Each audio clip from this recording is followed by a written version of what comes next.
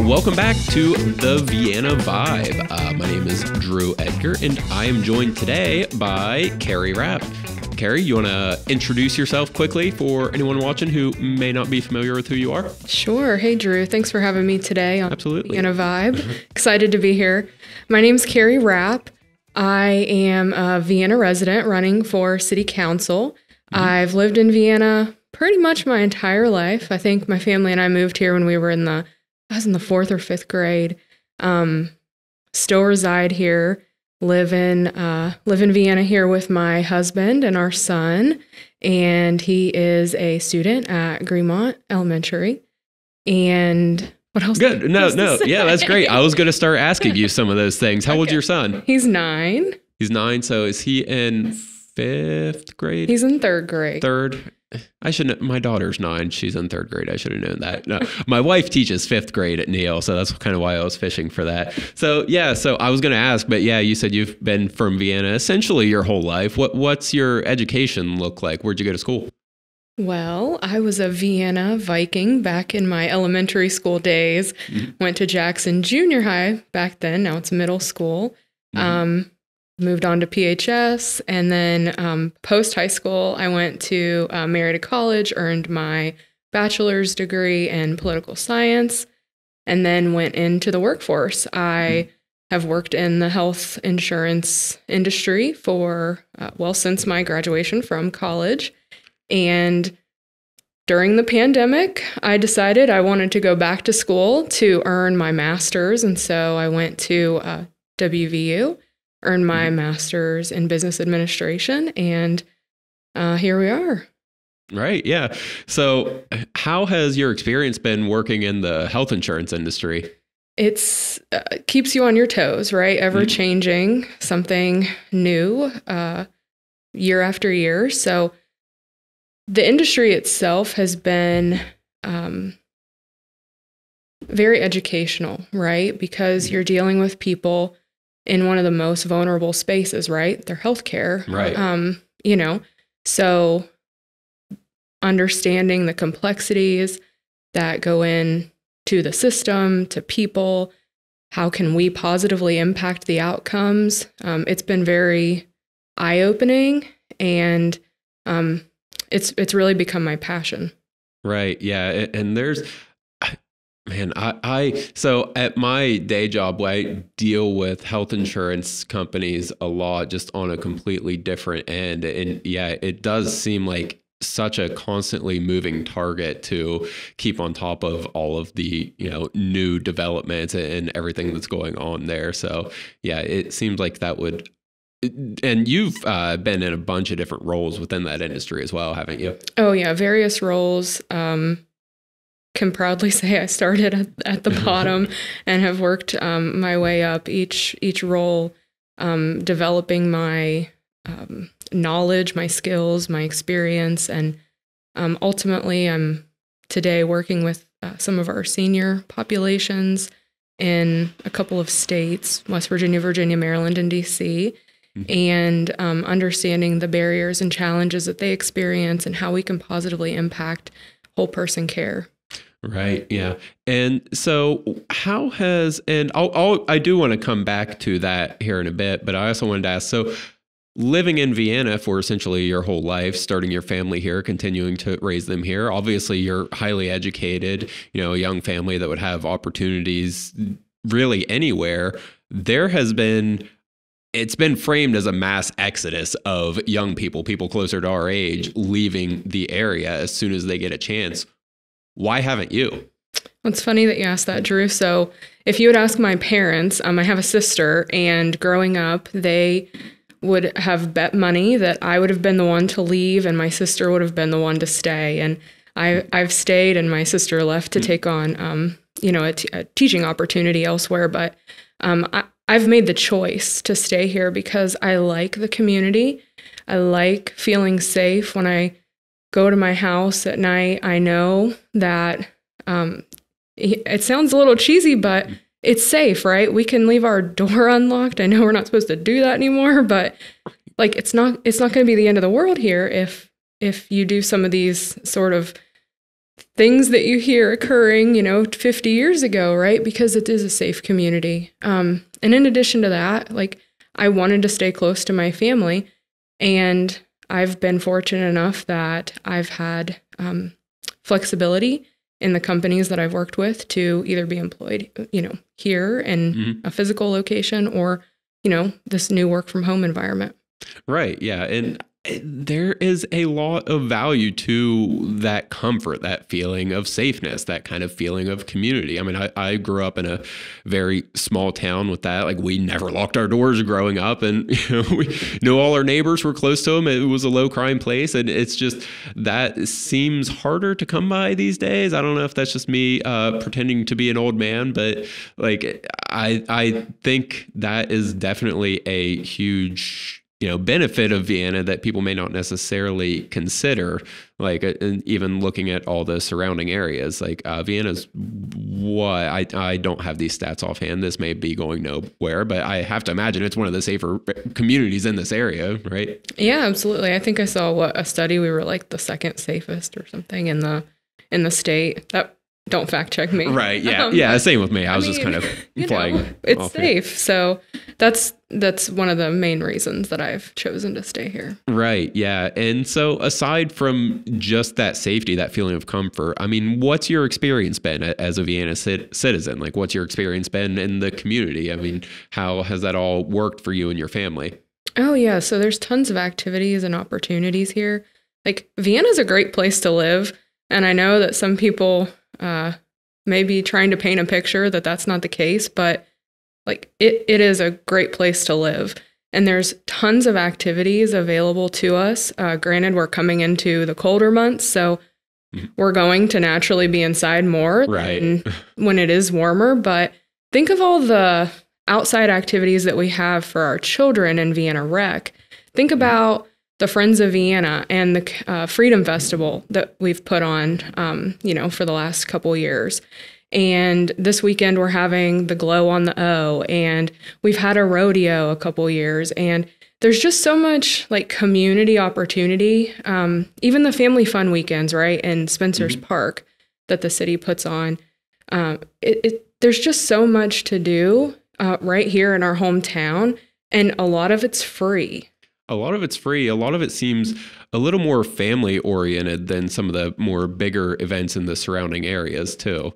Like, as someone with three young children, I, I value that. And like you said, it seems like a lot of a lot more of those type of events have been happening in Vienna recently, and you can tell there has been kind of a push to have more things for people to get outside and do, and kind of enjoy the natural beauty and the kind of the community spirit, spirit, spirit, yeah, the community spirit of- the area is the impression that I'm getting. So yeah, I I can definitely agree and relate on that, and that's probably a, a good segue into. I was going to ask you about what your involvement is in the community. I think you are active on a couple within a couple of those organizations you mentioned as well, right? Yeah, so I've been a member of the Friends of Vienna for a couple years now, um, helping support the Freedom Festival that we mentioned, Mhm. helping with one of our fu- biggest fundraisers, the bingo that we've put on for the past couple years, and um, you know, just recently was appointed to the uh, Spencer's Landing uh, Development Committee.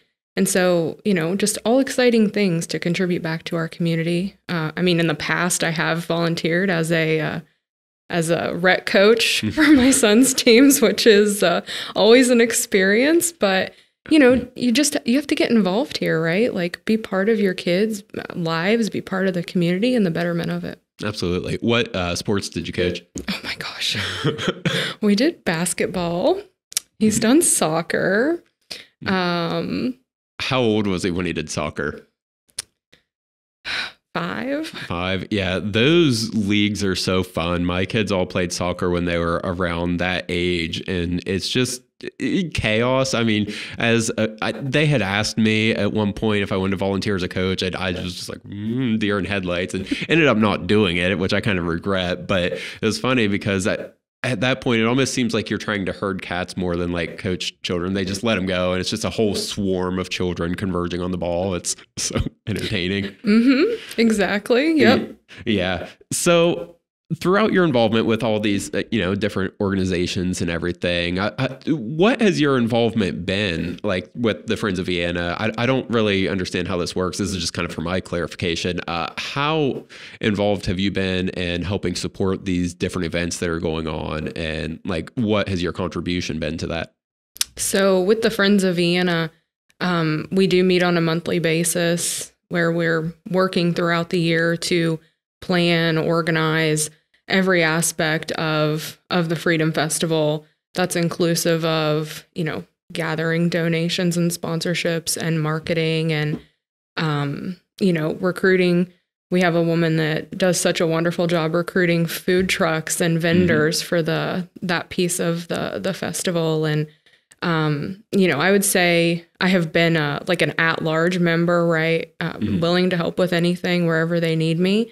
Um, but I have helped support with the planning and execution of of the bingo fundraisers, and um, we love bingo, so right. it's always yeah, yeah, and so the Freedom Festival, I'm going to camp on that just for a second longer. I know we've mentioned it several times, but also just for anyone who, you know, didn't attend or didn't realize the scale of that was impressive to me and all the the variety of things that they've managed to lock down that have happened. Like they've had some, you know, pretty legitimate artists performing. And last year there was what that big kind of drone light show in place of the fireworks, which is really freaking cool, actually. Yeah, not in place of, in addition, in addition to, to the fireworks. Okay. Yeah. So we had the drone show what Friday night, and then the fireworks were Saturday. Okay, okay, yeah, I missed that. I think I was actually out of town that oh. Saturday. I, I saw the drone show, but yeah, I didn't realize the fireworks had happened as well. Yeah. But yeah, it's just a lot of really cool things, and just like a really relaxed, kind of family friendly environment. My kids have gone the last couple years and loved it. Um, which I guess kind of brings us to uh, the big question of why'd you decide to run for city council? So Great question. um, sometimes I'm, I'm asking myself that now. Uh, why, Carrie? Ground yourself in your why.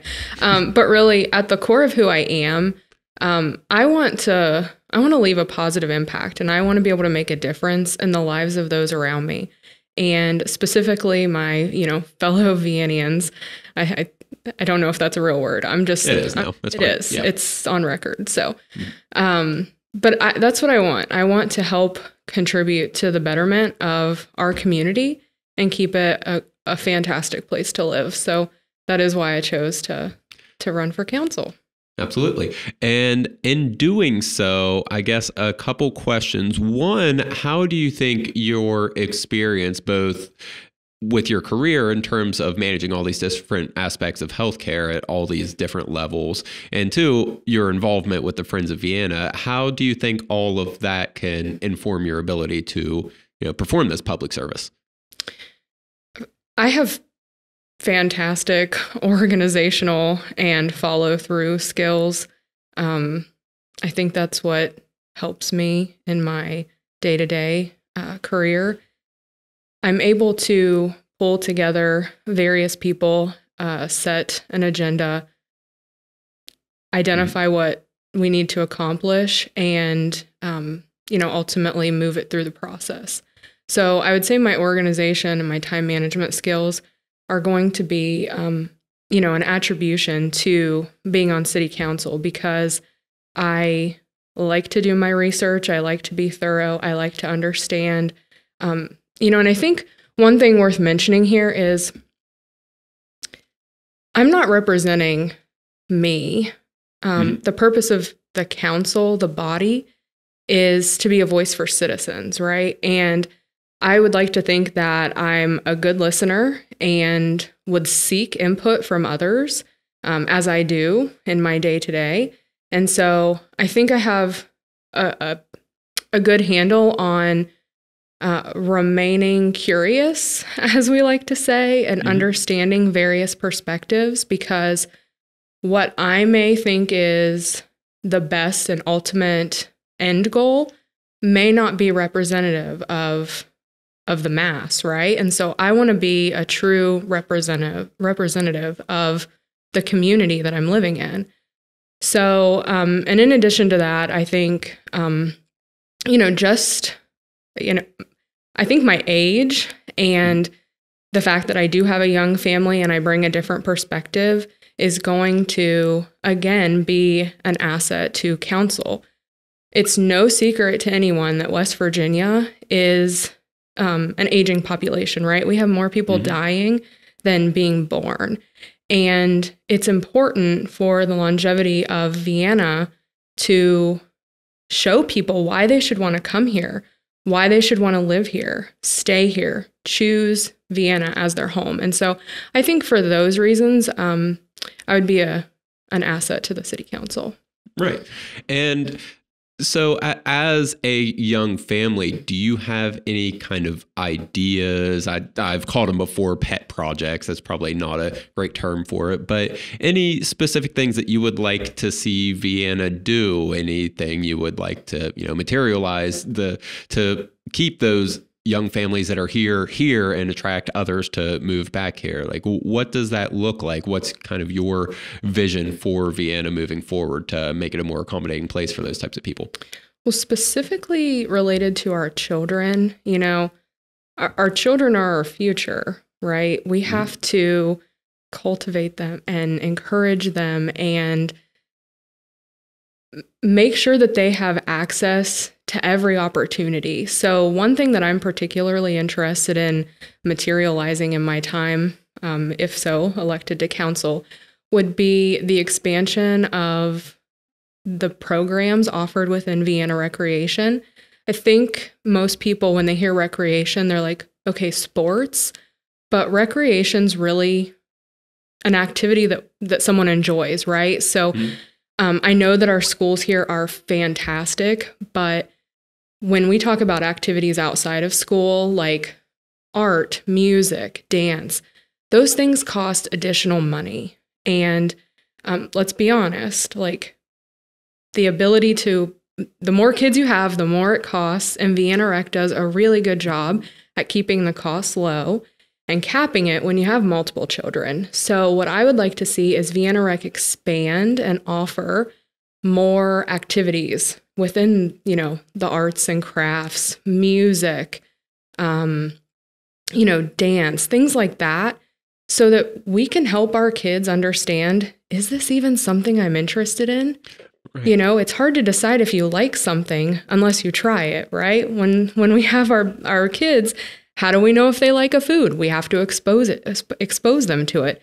How do we know if they like an activity if we don't have a good way to expose them? So that's something I'm really interested in is expanding the services that we offer our children and the the availability of programs. Oh yeah, I I like that and you know, my kids, like my oldest son, he is much less the athletic type. He has, unfortunately for him, he inherited my athleticism, but he's much more musically inclined. Like he's in band, he plays drums, he just loves that. And having some of those type of programs kind of aided by the city you live in like those type of things available and like my daughter loves dance yeah I, I would love to see expansion of those type of things. I, I think that's great. And like you said, there's already Vienna Rec is great for sports. Like I think two, not all of my kids, but two of my three kids have played uh, sports through Vienna Rec, and it's a great program. And if you can use, you know, what exists there to expand it and offer those other opportunities for them, then yeah, I mean that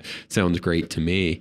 Um, I, I guess now I was to ask about some criticisms, I guess, from other candidates that have been kind of floating around. Not just other candidates, I guess that's a little diminutive, but some criticisms that I've seen floated around. So, your dad is the mayor, correct? Mayor Rapp. Yeah. And so there has been some talk uh, levied at both you and some of the other candidates running for their relationship with people who are currently elected officials and just kind of indicating that that could sort of cultivate a little bit of, I think they have specifically called it cronyism, but just essentially saying that uh, you could be a yes man or I suppose a yes woman rather to to the other people that you have relationships with on in the city government. Do you have a response to that, or you know how would you address those criticisms?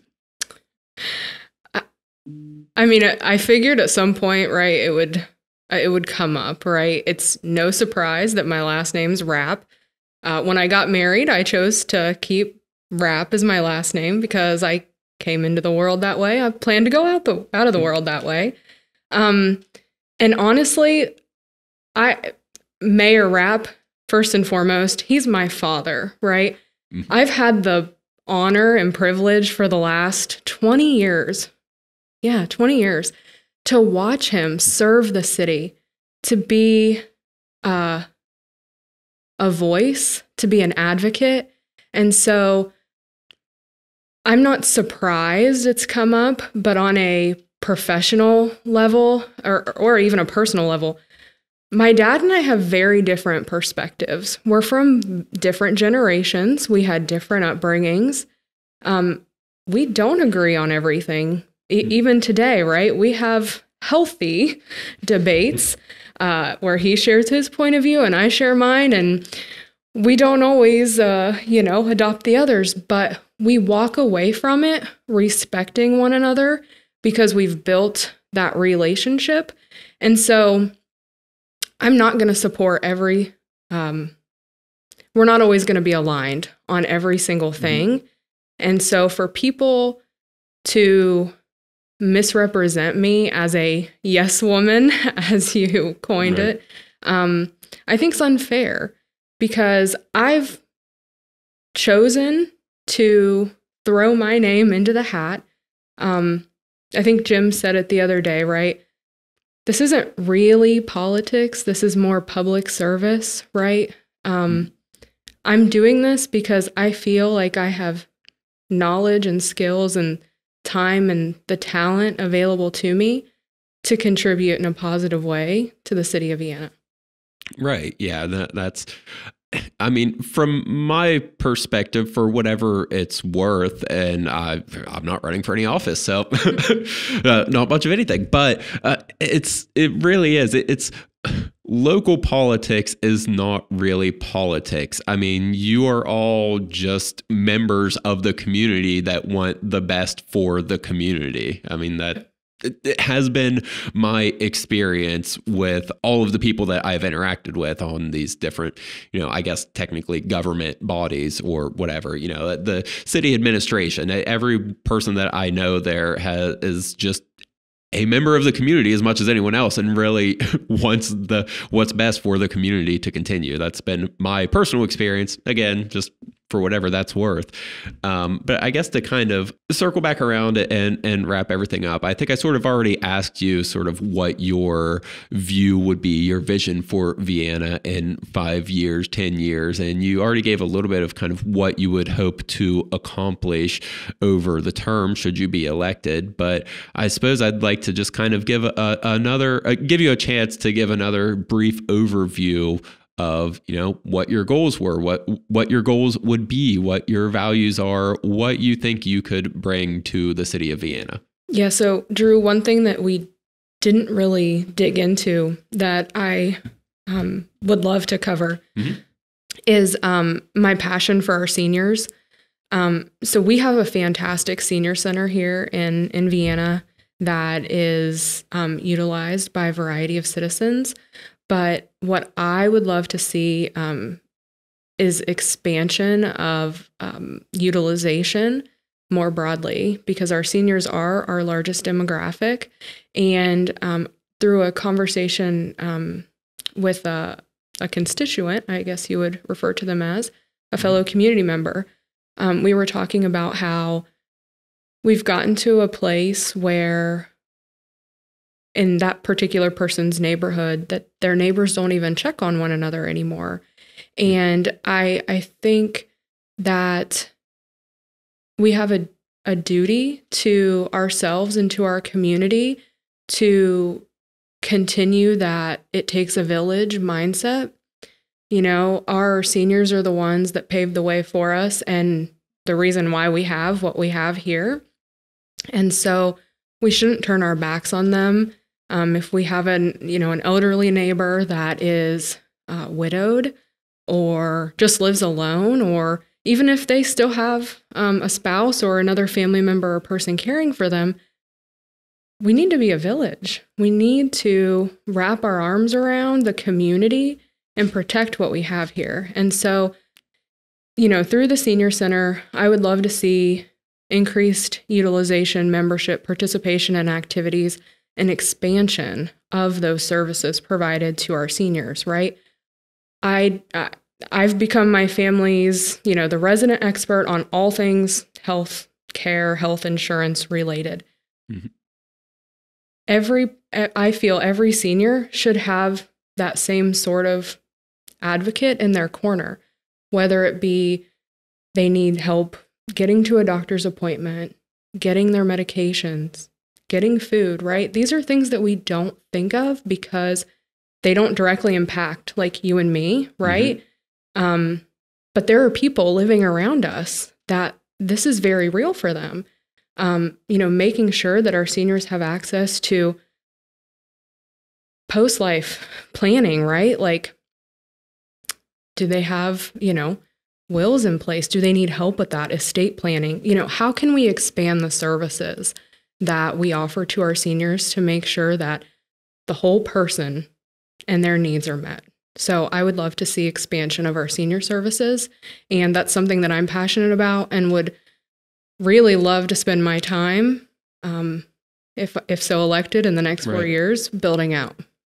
Yeah. And the senior center is, I, I did not realize how nice and how well equipped it is. Actually, I gave a presentation there about a month ago uh, just talking about you know, utilizing technology for seniors. And that was the first time I'd been in there. I just never had a reason to. And they gave me kind of a tour of the place, and it's a really nice facility. It is. And yeah, it seems like a great asset to the community. And being able to continue to expand on that and expand on the services they offer does seem like a great opportunity, like you said, for those people that really I mean, we need to pay attention to. We need to care for. We need to not turn our backs on. So, yeah.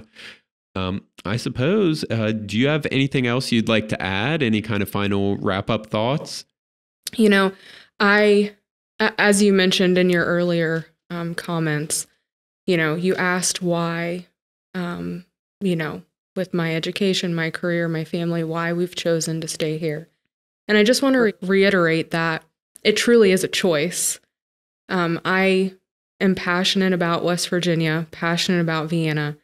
I want to leave the world a better place than when I found it. I know it sounds so cheesy and cliche, but you know what? I, I like to live my life in a positive, uh, you know, outlook, upbeat manner. And I feel that, um, you know, in the next four years, I would have a lot to contribute to the Vienna City Council and continuing to keep the city that we know and love today keep it that way and help make it even better. So, for voters, I guess I would end by saying I hope that you do consider uh, your five council votes carefully. And I do hope that you would consider me for one of those. Absolutely. Well, I thank you very much for your time. Thank you for being here. And thank you to everyone for watching this. Thank you, Drew.